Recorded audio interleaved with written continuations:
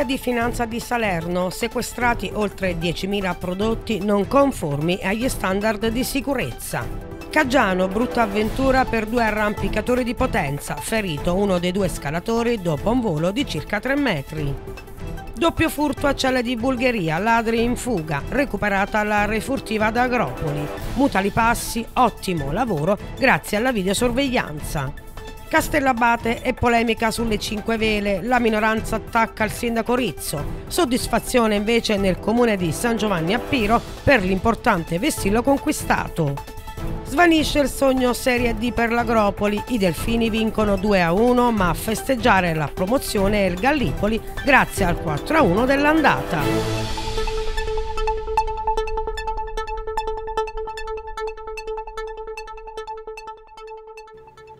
Amici e telespettatori di Infocilento TV, benvenuti al quotidiano e consueto appuntamento con la nostra informazione rigorosamente in diretta sul canale 79 del Digitale Terrestre. Come avete ascoltato dal nostro sommario, apriamo questo appuntamento quotidiano con una notizia di cronaca. La Guardia di Finanza di Salerno ha sequestrato circa 10.000 prodotti non conformi alle norme sulla sicurezza. I finanzieri di Vallo della Lucania, del distaccamento di Vallo della Lucania, hanno fatto razzie in un eh, locale appunto nel centro cilentano. Ma sentiamo tutti i particolari nel servizio di Ernesto Rocco.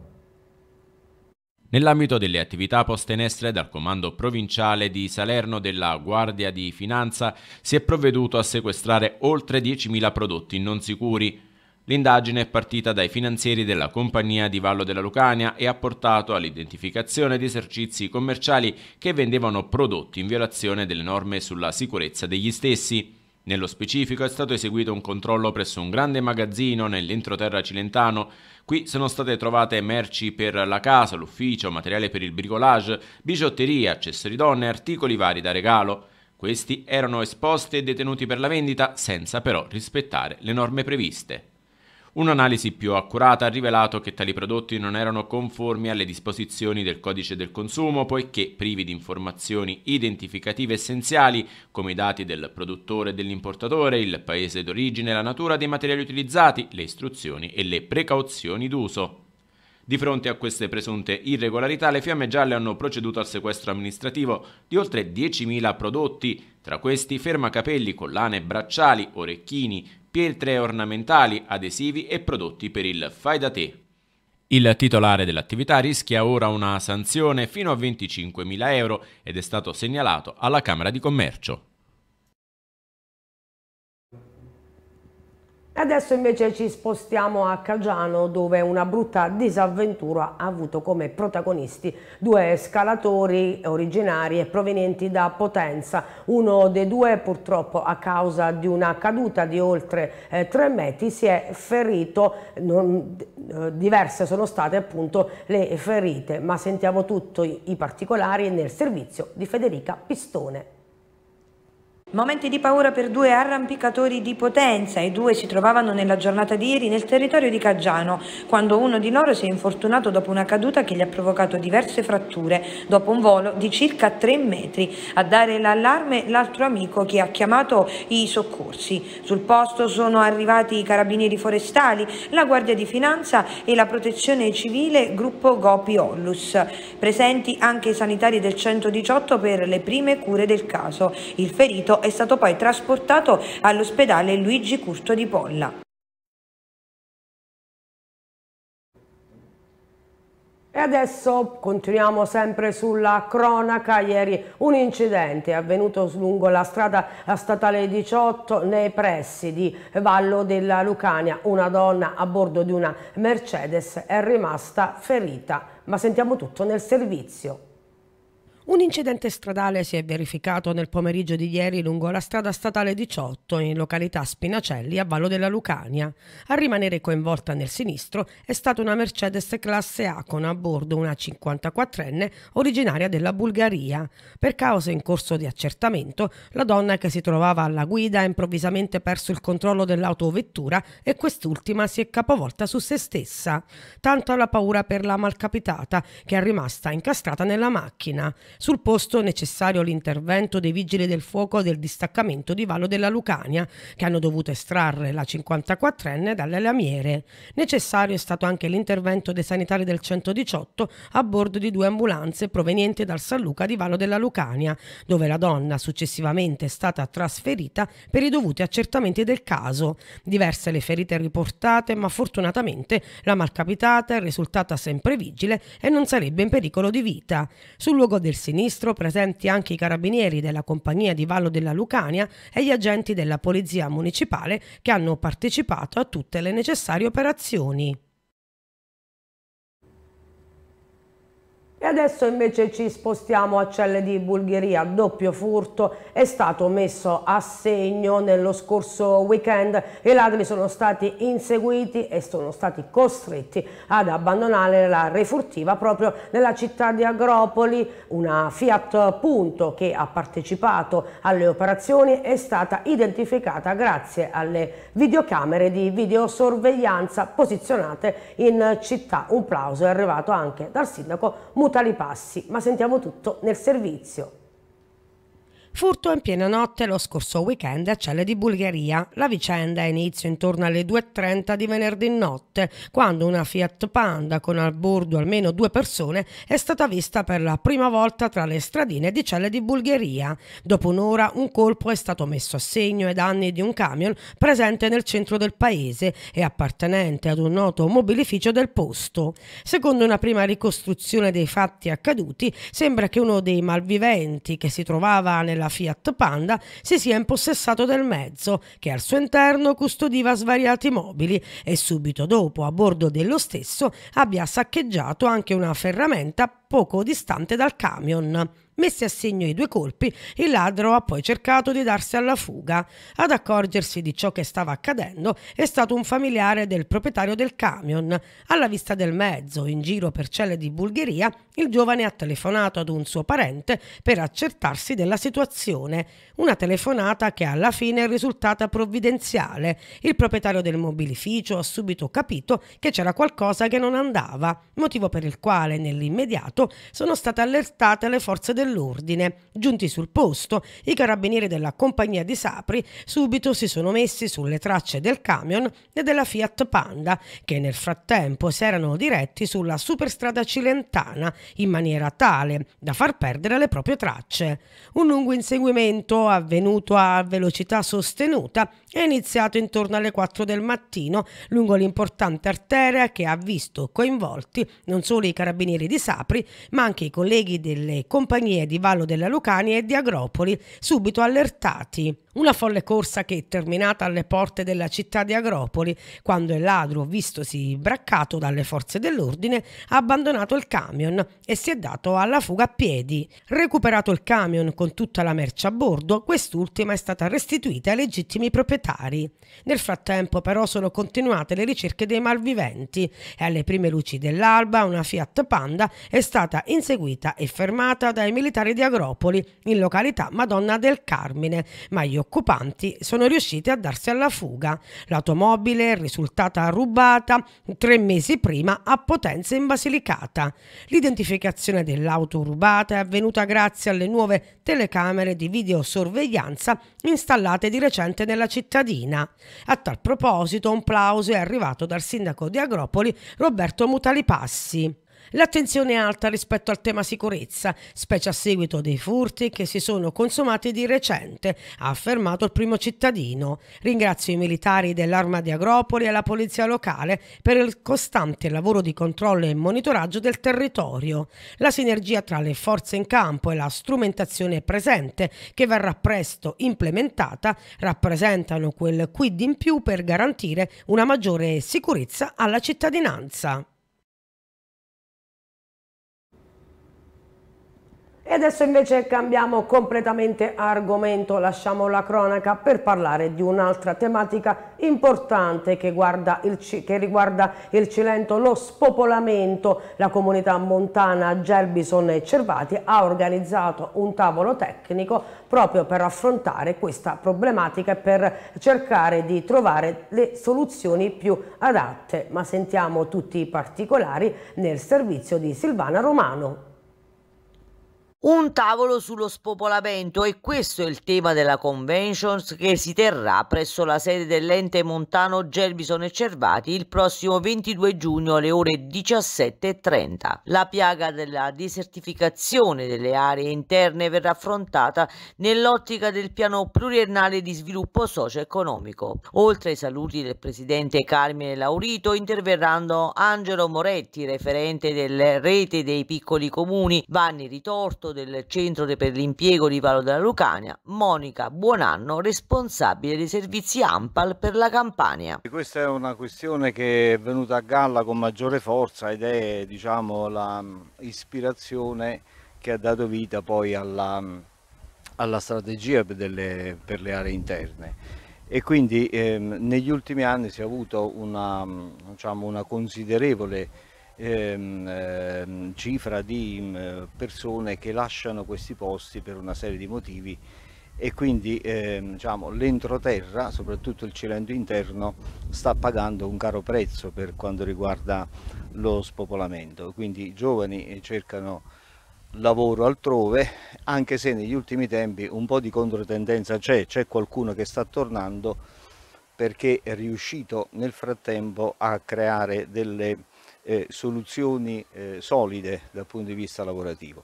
Ma bisogna lavorare, bisogna lavorare molto su questo tema, coinvolgendo quanto più è possibile le istituzioni per sensibilizzare tutti quanti sulla necessità di trovare e di studiare delle alternative utili che servano a mettere un freno il, ehm, a questa ehm, piaga che è effettivamente un problema enorme per le nostre aree. Praticamente noi abbiamo dei piccoli paesi come il nostro, come il mio, ma tanti altri che nell'arco degli ultimi dieci anni hanno subito una grave perdita di popolazione. E quindi sicuramente è importante quello che è stato già messo in campo, anche se la strategia per il Cilento interno è partita in ritardo e quindi eh, alcune misure sono state purtroppo perse, però eh, stiamo facendo eh, quello che è possibile e soprattutto sollecitando le istituzioni che nel frattempo non riescono a produrre i progetti utili per poter portare su questo territorio risorse altrettanto necessarie.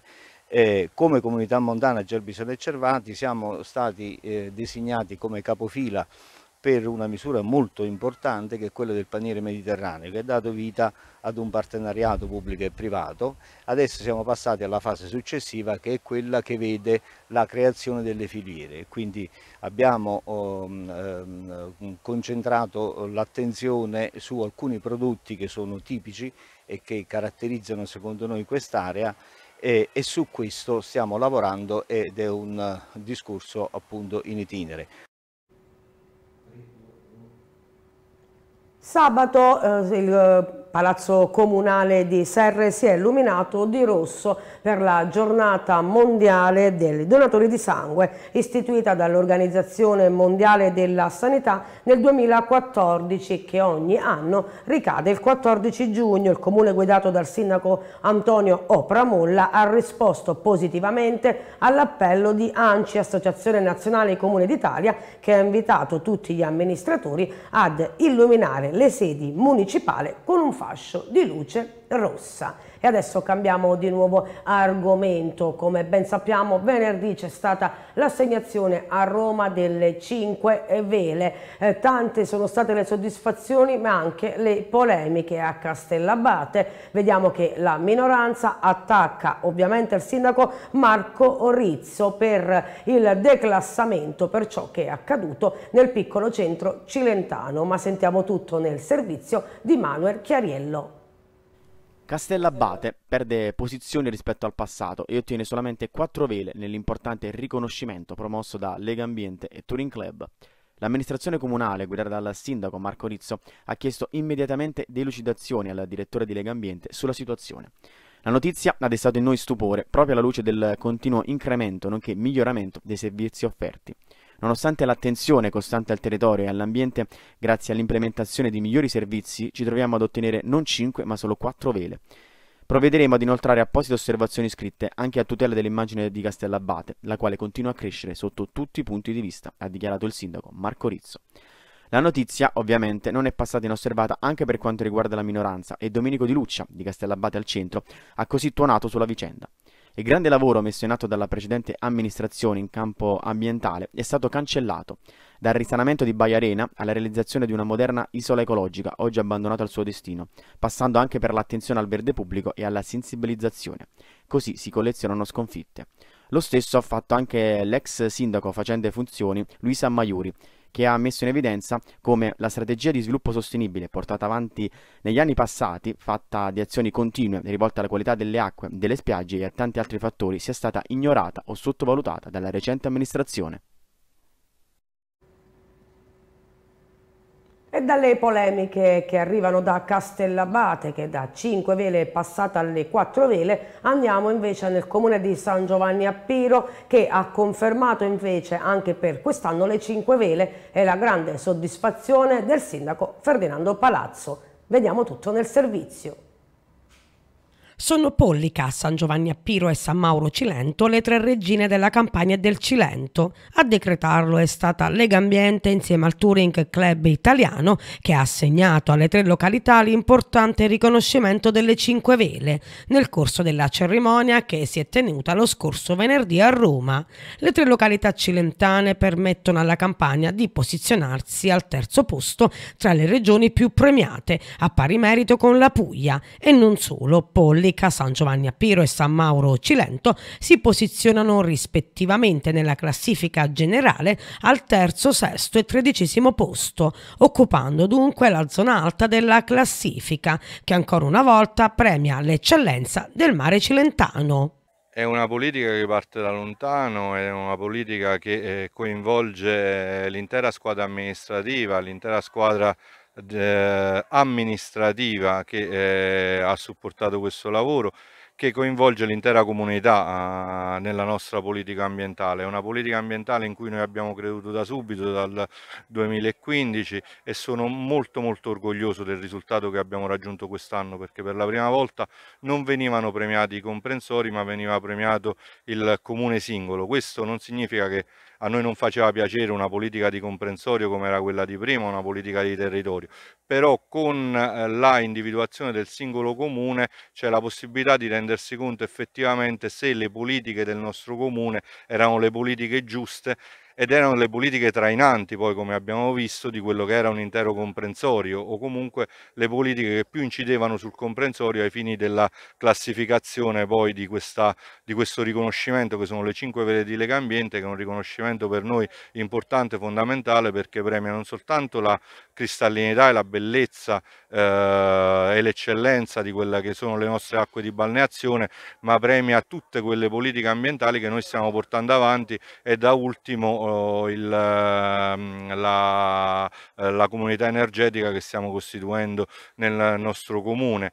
Eh, è un premio che è stato conferito soltanto a 21 comuni in Italia, il che ci inorgoglisce ancora di più e se da una parte ci rende orgogliosi, dall'altra parte ci affida la responsabilità di fare ancora meglio e di mantenere quelli che sono i risultati raggiunti eh, andando al di là dell'ostacolo. E un plauso a quanto ottenuto dalle tre località cilentane arriva anche dal consigliere provinciale Carmelo Stanziola. Beh, innanzitutto mi corre l'obbligo come consigliere provinciale fare un plauso e un complimenti alle amministrazioni che eh, hanno ritirato le cinque vele che sono salite sul podio, quindi mi rivolgo con grande eh, spirito di eh, sensibilità e di rispetto e plauso, dicevo, al comune di Pollica, al comune di San Mauro Cilento, al comune di eh, San Giovanni a Piro che hanno ritirato queste vele, un vessillo importante, le cinque vele di Lega Ambiente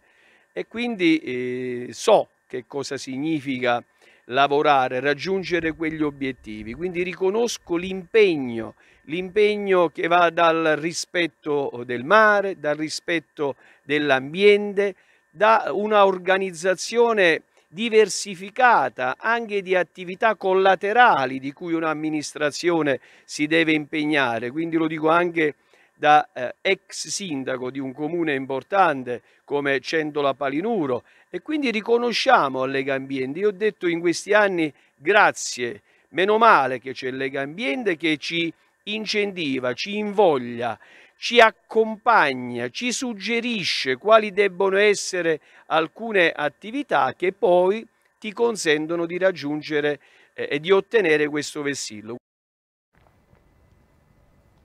E adesso invece andiamo ad Agropoli, taglio del nastro per via Pisacane. L'inaugurazione è avvenuta il 17 giugno, ma vediamo tutto nel servizio di Raffaella Giaccio.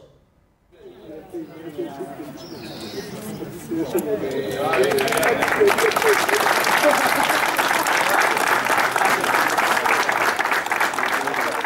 In Focilento si trova presso via eh, Pisacane ad Agropoli per l'inaugurazione eh, della messa in sicurezza e riqualificazione di questa importante strada che poi costeggia eh, uno dei luoghi di cultura della città di Agropoli e cioè Palazzo Civico delle Arti. Ma ascoltiamo l'intervista al primo cittadino Roberto Mutalipassi finalmente eh, si restituisce una zona, sindaco, che aveva bisogno di interventi eh, di riqualificazione. Sì, assolutamente sì, bisogno di interventi di qualificazione, ma soprattutto di messa in sicurezza. Non dimentichiamoci che appunto l'opera eh, più importante e, anzi importante dal punto di vista della sicurezza è quello della realizzazione di una rete di palificazione che appunto ha, ha, permesso che si potesse fermare quel fenomeno di movimento franoso che, era, che, aveva interessato questa zona e che poteva mettere in pericolo i fabbricati retrossanti tra quali ricordiamo che c'è il Palazzo Civico delle Arti.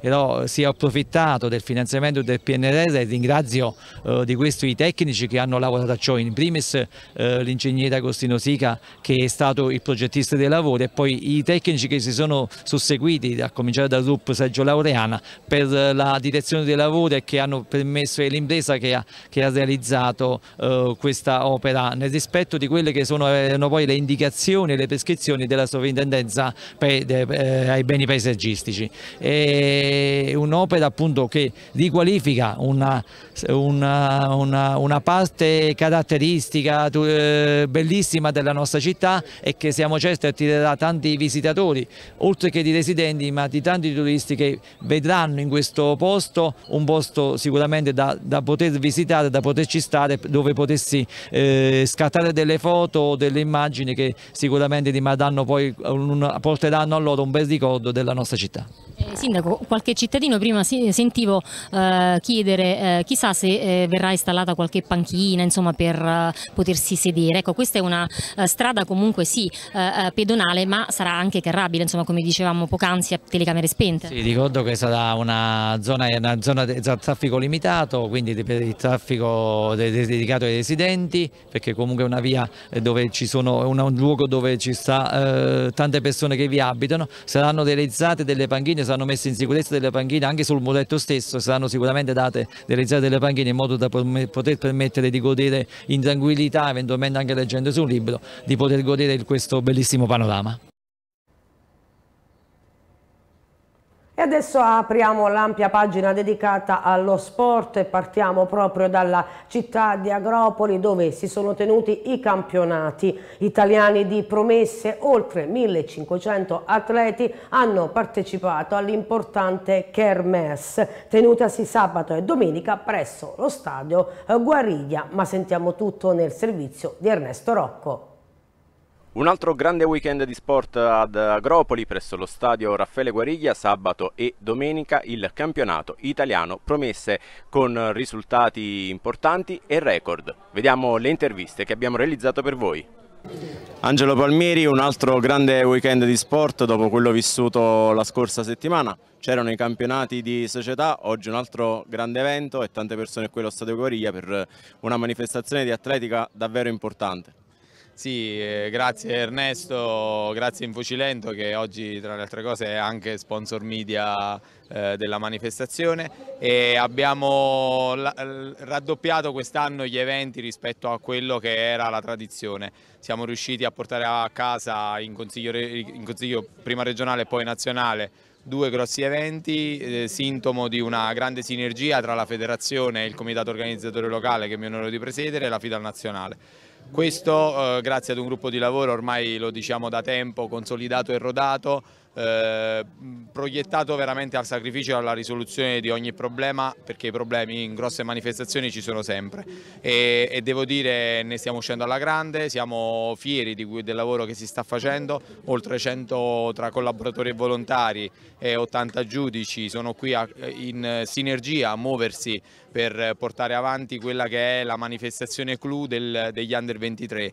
Eh, 20, 21, 22 anni sono eh, il triennio che partecipa, che sta partecipando sulla pista e sulle pedane eh, intitolata proprio dello Stato Guariglia, intitolata proprio a Pietro Mennea, eh, sintomo che vogliamo che si vada forte, i risultati stanno arrivando, eh, il vento eh, che nell'atletica implica il risultato perché è superiore a 2 metri al secondo eh, da nullo in un qualche modo per i minimi europei e mondiali il, lo stesso risultato, in questo momento il vento ci sta dando una mano e quindi eh, tutto sta procedendo per il meglio. L'Atletico è un movimento che sta crescendo molto anche qui in Campania e importante anche avere sempre più strutture a disposizione per organizzare anche questi grandi eventi. Questa è la nota dolente, purtroppo la regione Campania è a secco di impianti eh, purtroppo gli impianti fruibili si contano sulle dita di una mano e questo ci penalizza un pochettino, però ci stiamo dando tanto di quell'impegno e tanto di quell'entusiasmo nel portare avanti l'intero movimento in Campania che eh, i risultati stanno cominciando a farsi vedere. Ci auguriamo che al più presto si possa fare quel cambio di marcia tanto eh, voluto da questa gestione amministrativa. Ci sono i presupposti quindi?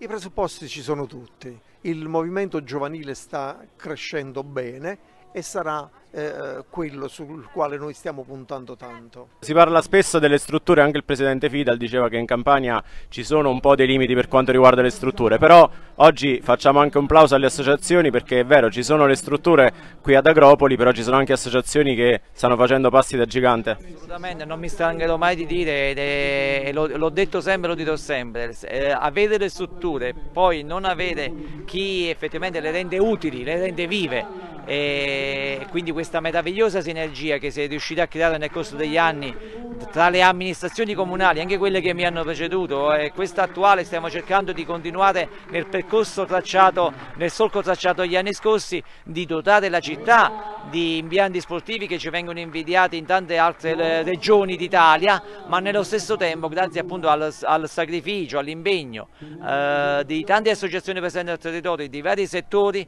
ma in questo, nel caso specifico di questi due fine settimana dell'Atletica dell Agropoli nella, e nello nello specifico di Angelo Palmieri che è anche un rappresentante eh, il presidente della Fidel provinciale quindi veramente anche un rappresentante a livello diciamo, di, di, di Fidel di Federazione di Atletica Leggere che fa, è un premio per quando Angelo Palmieri ha, costruito nel corso degli anni ed è riuscito a portare anche la nostra squadra di atletica nelle serie B nazionali quindi veramente un traguardo storico complimenti a lui all'atletica e a tutte le associazioni di sport presenti sul nostro territorio nazionale che rendono vivo e, partecipe non soltanto l'impianto Guariglia e la pista di atletica ma anche gli altri, gli altri impianti dedicati al basket e alla pallavolo. È un evento estremamente significativo per la città di Agropoli, riteniamo che deve ulteriormente crescere questo evento per, anche per sensibilizzare i giovani e per portarli verso una disciplina qual è l'atletica leggera che è definita per l'appunto come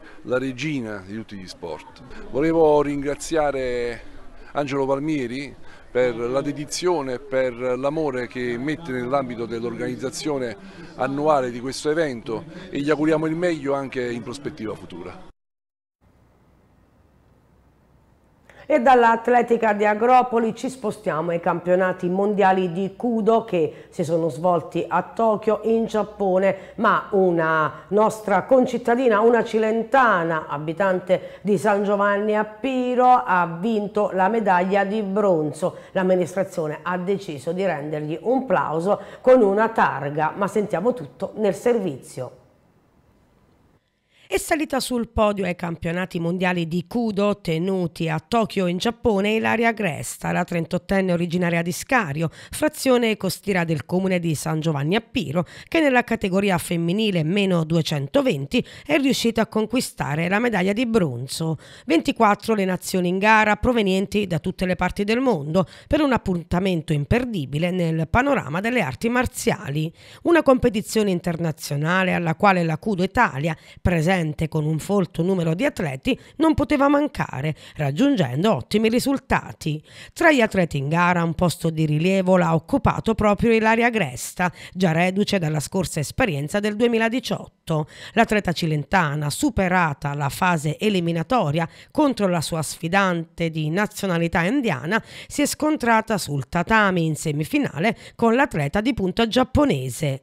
Per la Gresta la medaglia di bronzo che le ha consentito di portare portare a casa un'esperienza straordinaria, ma anche il riconoscimento assoluto del suo valore. Un traguardo importante per l'atleta di Scario, omaggiata lo scorso weekend dall'amministrazione comunale capeggiata dal sindaco Ferdinando Palazzo di una targa che attesta la condivisione dell'importante successo e non solo. Da parte del primo cittadino e dell'amministrazione presente, diverse sono state le parole di stima pronunciate nei confronti della Festa, racchiuse tutte nella frase contenuta nella targa, orgogliosi dei tuoi successi.